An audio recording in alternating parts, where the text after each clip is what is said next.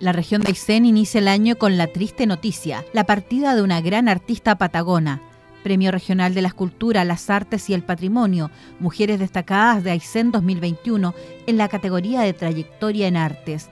El temprano fallecimiento de Sandra Borges Salas es una irreparable pérdida para el mundo de la creación regional, para la poesía y las artes textiles. El diario regional Tehuelche Noticias destaca su legado y Verónica Díaz Cayul, Seremi de Culturas Aysén, considera que la mejor manera de recordarla y honrar su memoria es a través de su prolífica obra y guardando una hermosa frase de ella que bien puede resumir lo que fue su absoluta entrega en todo lo que hacía. En un abrazo quisiera llevarme todo lo que tanto he amado. Sandra Borges Salas luchó como mujer patagona con un cáncer que la llevó al descanso eterno, tema que damos a conocer por la importancia de contar en nuestra región con un centro oncológico. Nos sumamos al dolor de su familia. Sandra, descansa en paz. Vivirás por siempre y tu legado artístico será nuestro consuelo en tu querida Patagonia.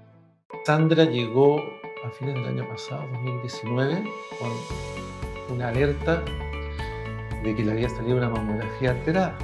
Me detectaron el cáncer y había pasado un año y medio de no haberme hecho los exámenes. Si bien hay muchos cánceres que son malignos, eh, hay muchos cánceres también que tienen muchas posibilidades de tratamiento y hasta lograr una sobrevida mejor incluso que cualquier otra enfermedad. La palabra cáncer todo el mundo le tiene miedo, me incluida yo. Yo no quería saber nada de ello. Si bien la información es chocante, la paciente tenía una muy buena disposición, estaba muy interesada Sandra en tratar toda esta enfermedad con lo que fuera médicamente adecuado. La experiencia es buena, me recibieron bien, detectaron rápido, entonces yo vengo muy tranquila y al estar yo tranquila, estar informada, estar eh, con mucho cariño siendo atendida, yo traspaso a mi familia este tema. Entonces mi familia se queda tranquila porque me ve bien, ve que pongo mi parte y la clínica está atenta siempre. Todo lo que no me cuide antes me estoy cuidando ahora.